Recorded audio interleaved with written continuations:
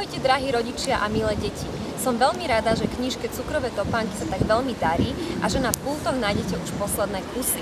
A je to celkom pochopiteľné, pretože pojednáva o Cyrilkovi, ktorý neuposlúchol rady svojho deduška a vybral sa na povalu, aby našiel cukrové topánky. No a to, čo sa potom stalo, vám samozrejme neprezradím, ale jej posolstvo je veľmi poučné, pretože hovorí o tom, ako by sme nemali jesť toľko sladkosti a ako sa dá žiť aj zdravšie.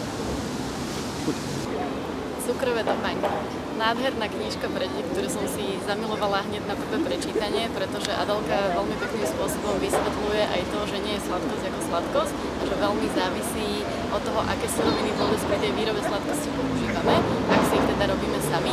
A samozrejme nič sa nemá preháňať a to všetko sa v tejto knižke krásne ilustrovanej a napísanej dozvie.